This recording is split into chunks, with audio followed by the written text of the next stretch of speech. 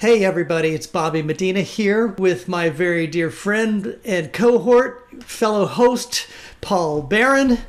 And uh, today we're bringing you guys a an exciting uh, product launch here, or not necessarily a launch, but a whole product line uh, put out by a great trumpeter friend of ours uh, named Frank Huber, and he's the owner of Huber Music, and he's uh, both a commercial as well as a classical trumpet player.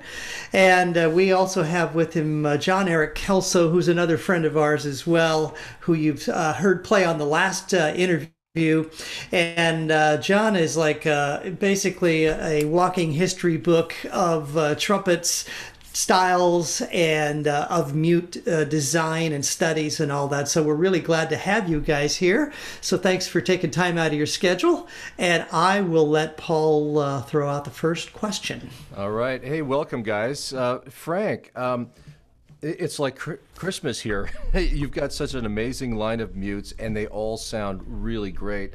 Um, so today we just want to like kind of go through and, and share with everybody uh, all, all your amazing mutes. So, can we start with the uh, the Mega Mute because it's something that I've never played before, um, and I'm not really sure what to do with it or or in what style to use it. But it sounds so cool. Uh, I just want to go back on all these recording sessions I've done in the past where I'm going, oh, it's just not the right mute, but I don't have the right I, I, don't have it with me. And and here you've covered all the colors you could possibly imagine. So let's start with this and uh, talk a little bit about that. Great. Yeah. So so the Mega Mute was I think kind of the third or fourth mute I, I started developing.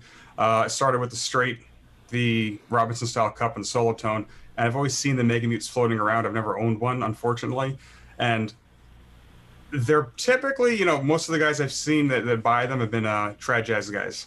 I haven't seen him writing written in any shows. I'm sure you've never seen him in any shows or anything.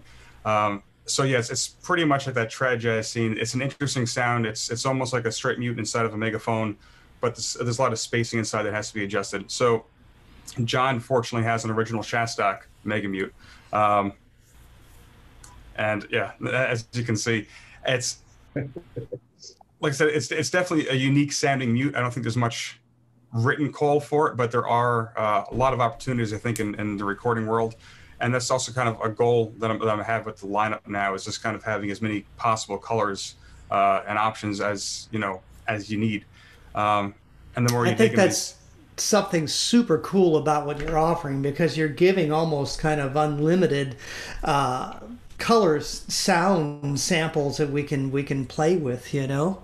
Hey john how does that what year was the original one there that shastock made? Do you have an idea? Um, i'm not really sure but i would guess the 20s uh-huh. Uh, but my the only knowledge i have of, of recordings or or samples where this is used was in like jazz in the 20s and into the 30s a little bit but like mm-hmm. a bunch of early ellington things had had the had guys using this. Uh, it's you know not the wah wah stuff, but some of the like kind of pretty melody solos that uh, mm-hmm. uh, Freddie Jenkins might have played in, in the Ellington band, or or uh, I think of the other name right now, but uh, you know, you know, Lunceford or any of those. Yeah, it's not. I, I bet. I bet some of the early Lunceford things might have they might have used it as well. But, uh, so I'm I'm assuming you guys have been able to um, maybe maybe possibly improve improve on this from the old one to maybe correcting maybe pitch issues and evenness of playing and all that. Yes, on, on some of the old ones, I know the lower register uh, wasn't always locking in that great, and uh, at least from what I've heard from John and. Uh, Josh Rzepka's also he has one that he was nice enough to AB for me and, and give me some comparison notes on and he was saying the same thing. The low register is a little bit squirrelier on the old ones. Uh, I, th- I, think the general consensus too is the newer ones project a little bit more uh, than the old ones, but that's. I think yeah, the sound profile is pretty pretty much the same though. I think he improved it. You know, this one, the low register doesn't isn't happening. This is the old one.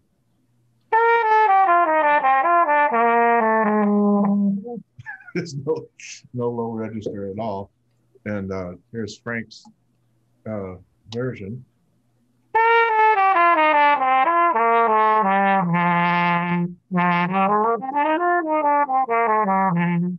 So you get the idea. Yeah.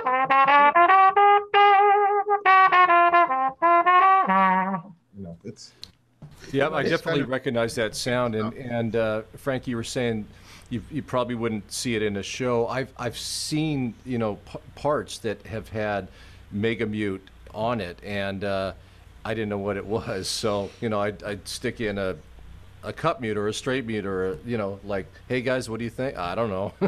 so you kind of just throw in anything. So now I know. Yeah.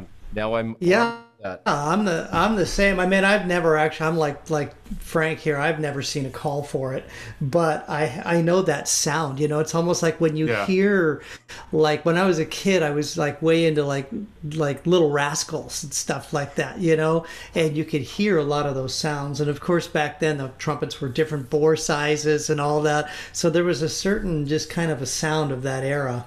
Well, let's let's talk about another one uh, of your mutes that we kind of want to spotlight here, and this is uh, your your straight mute, which I think is really really cool. Why don't you tell us a little bit about it? Because uh, I think everybody would love to hear about it. Because actually, when you think about this, you actually get like three mutes in one. So give us a little bit of the background on this. Yeah, so, so the straight mute started out. It's a it's like a mix of a Robinson and a Shastock straight. The bottom of it, you know, you can unscrew it and take the bases off. So I have at the moment there are three bass options. You have the smaller bass, which gives you more of a Robinson style sound. The larger bass adds some color to it. So I know some guys are you know using that for different uh different excerpts or, or parts of the show. And the third bass I have has the uh, kazoo resonators on the bottom, so it gives you that buzz bass. So you got a mix of like a buzz and the straight sound. It's not like a pure buzz sound. Um, I'm hoping to be adding in some some more basses in the future with uh, you know brass, copper, and aluminum, and possibly wood.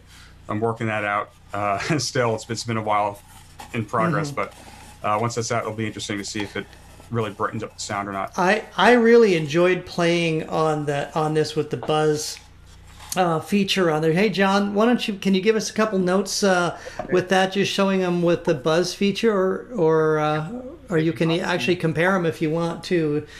Just okay. I just took off the straight mute thing and zoom, zoom, zoom. It's yeah it's sometimes it's a little difficult to hear the actual you know the nuances of it but i'm sure eh. we'll,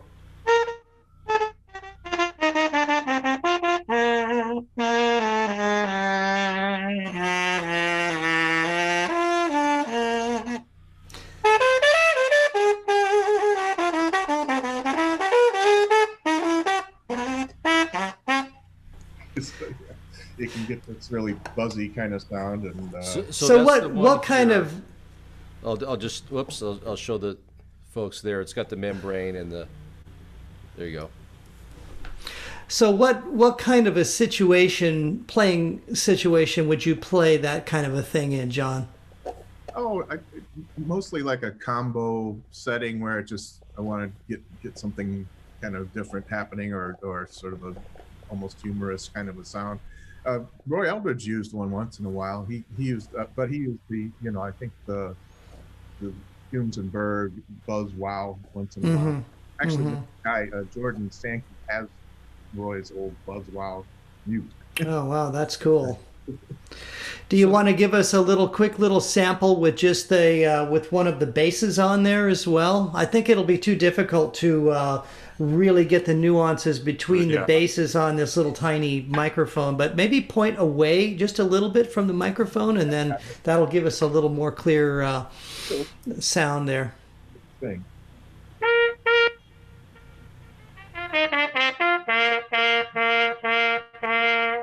that's with the original regular bass hmm I like them because they're the bottom end's nice on them. They're clear, uh, just even sounding.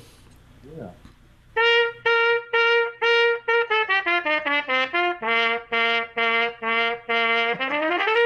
It's a little, just it's a subtle but interesting. Yeah, Yeah. it's a little uh, a little more mellow. It takes it a little bit of the edge off it, doesn't it? Yeah. Well, it's great to have those options. Um, and what was the other one we were going to talk about? I think it was the uh, the the step. yeah, uh, the step wah.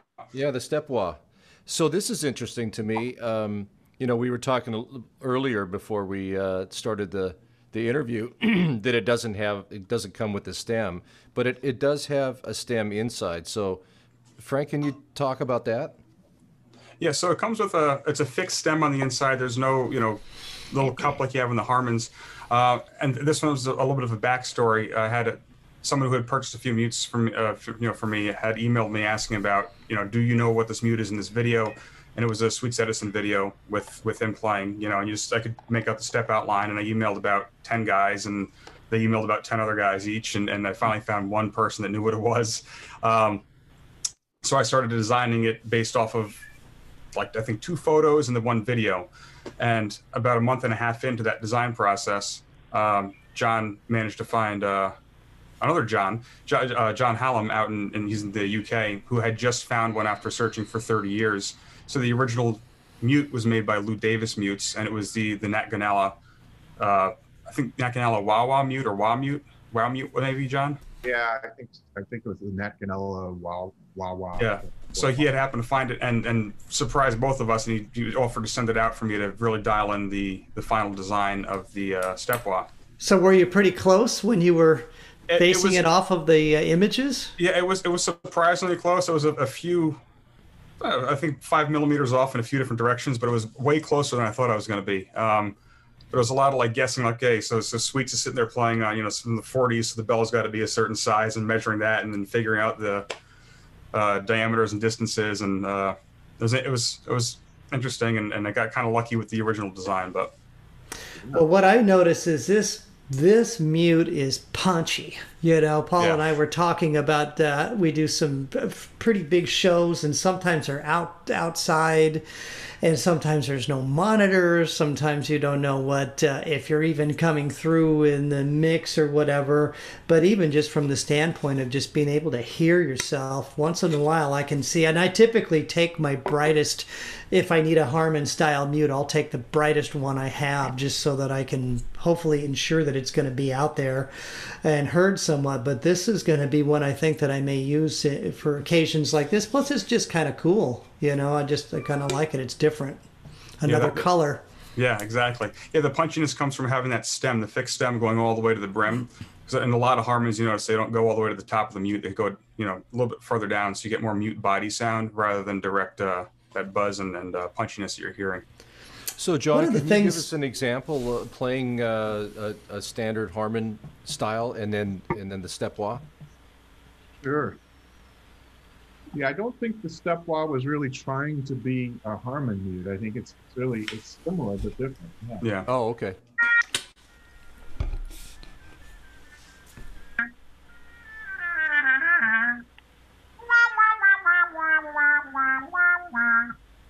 That's an old Harmon. And then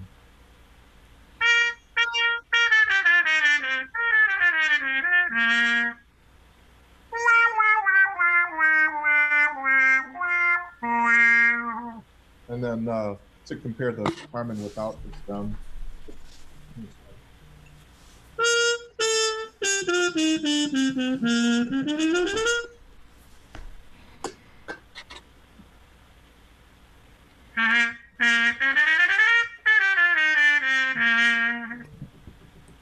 Very It's got- very yeah, cool. Or in between, it's almost like a bright cup mute, sort of.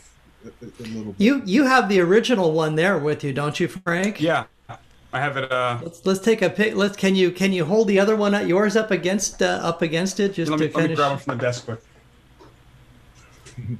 yeah, so there's the uh, not, not, not get his address in there, but there, there, there's the uh, two of them together. Yeah, that's Hard to tell with the white, but yeah, that's cool. That thing's seen better days, hasn't it? yeah, I, I'm, the fact that you found one though is still you know still amazes us because it's uh I've never seen one uh you know no, online or I haven't anywhere. either.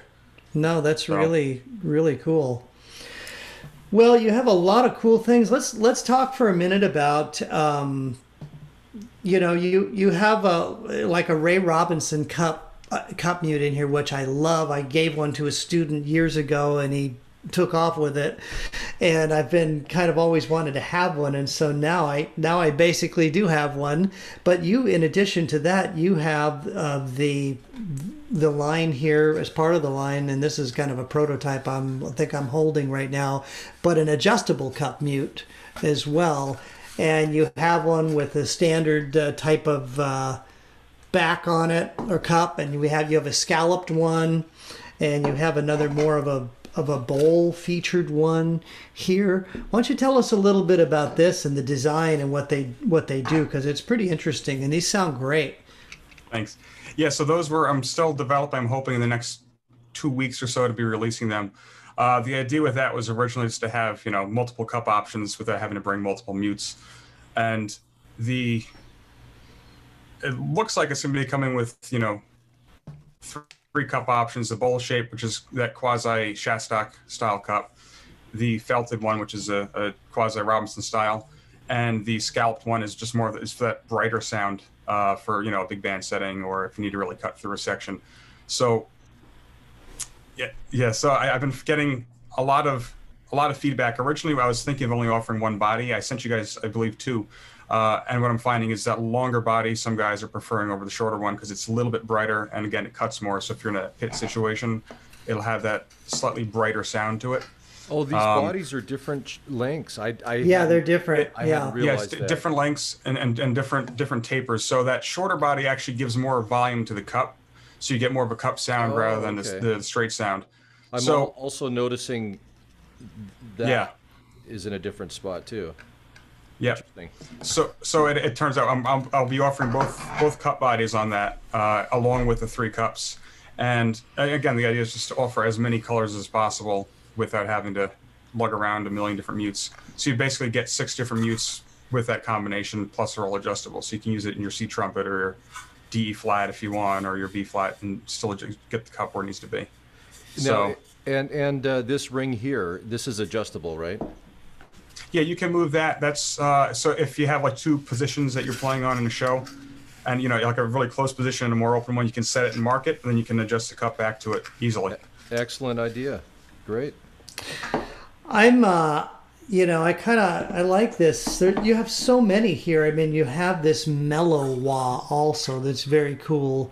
It's a little bit different. Why don't you just tell us a little bit about that right away while So- you're here? So yes, the Mellowa started out as me just wanting to have a complete Robinson set. I put I put out some feelers on Trumpet Herald or something, asking if anyone had a you know had a Robinson Mellowa at all, and someone had a had a- I think they had a Ingram restored one for them. So I got like this really nice new restored one, and loved the sound when I got it in. Um, some of the intonation was very quirky, which apparently is a Mellowa thing. So that was just again trying to improve the intonation issues of the originals. Um, and I believe the Humes and Berg Mellowas were the they bought Robinson out at some point, and it was the same same mute, um, but the intonation issues kind of continued with that with the uh, the buyout. So that was you know tweaking the inside a little bit to get the intonation better. The sound is pretty much the same as the original Robinson I have though, which is pretty cool. Uh, Well, I think that's one of the greatest things here. I mean, you have these traditional sounds that that that you can that you've recreated, but you've taken away all of the negative parts of the old mutes, you know. And the thing was, you know, they were made out of different materials back then, right? They had uh, fiberboard or whatever it was back in those days. And you know, what's kind of interesting for me, and I don't know what you think about this, Paul, but I mean, there's kind of, uh, you know, when I see something that's th- these are made on a these are 3D uh, printed, right? So at times when I've seen other things or heard other things being played or maybe played a different one, it had this very, for lack of a better term, plasticky sound. And these don't seem to have that. These have more of this organic, natural sound, like the real ones. But like I said, with the with the issues gone, they play all the way down to the bottom. They're nice and even. They're in tune. Your octaves sound great. Um, so I think that's cool. Do you have a? Can you play a couple notes on one of those? Do you have one of those handy, John? Sure, the mellow is that, Yes, the mellow wah. you know,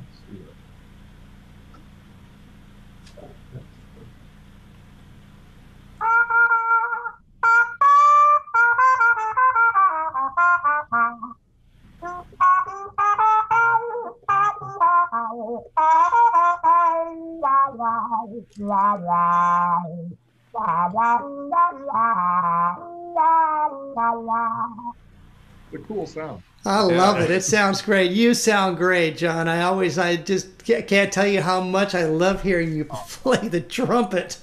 Oh man. So you know, I know we're kind of kind of want to keep this to a certain length here, guys. But um, why don't you just briefly here? Why don't you mention everything you got in the line so far, Frank? And I, if I'm if I'm not mistaken, you probably will be continuing uh, to make improvements and add to it. So why don't you just bang it all out real quick, and we'll make sure we uh, we we write down uh, underneath the, this post of your your uh, URL and all that stuff. So sounds good. I'll do my best to remember all of them.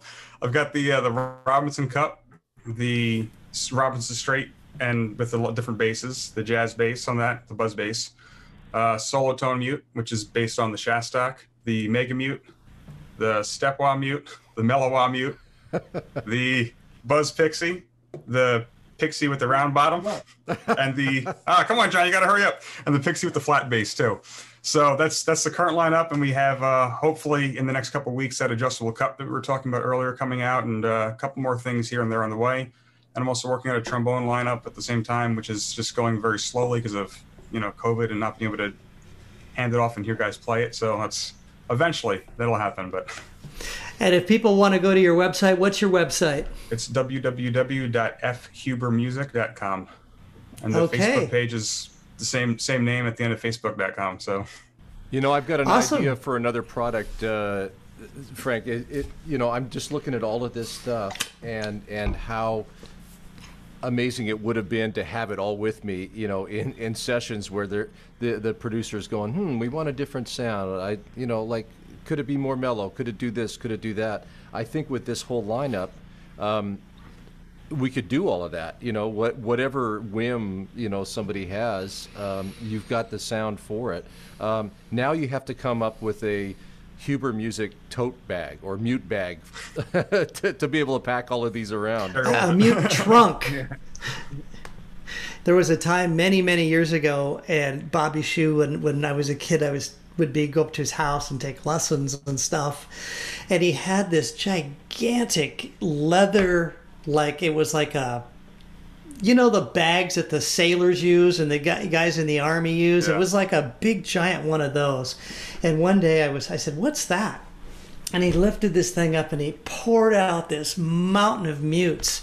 And he said, This is what I take to my studio sessions because I never know what I'm going to need and who's going to be playing and what mutes are going to be playing. So, yeah, something organized like that. I mean, I that's that, that might be cool. yeah. Anyways, well, thank you guys so much for for taking time out to share this. Uh, these are for everybody out there that might be watching. These really are truly unique and and quality products and i i don't just say that um lightly you know we don't just like have anybody on here with their stuff i mean i think paul you would agree with that right Absolutely, yeah. I, I I just wanted to say one last thing. I I can't thank you enough for the solo tone mute. Um, I've been on so many shows or whatever where they ask for one, and it's it it's I, I dread it every time just picking it up. And I've actually practiced like you know a, a full half hour of routine stuff, playing my Clarke studies on the mute because I enjoyed the intonation so well. So thank you. You're welcome. Glad you like it so much. Well, thanks so much for, again for being here, guys, and we'll look forward to seeing you again and uh, and maybe talking some more about some new mutes. And we love having your input on our on our Facebook uh, groups, and and all this will also be available on our YouTube channel. So everybody, check it out, and uh, be sure to go check out F Huber Music. All right, talk to you guys soon. Thanks.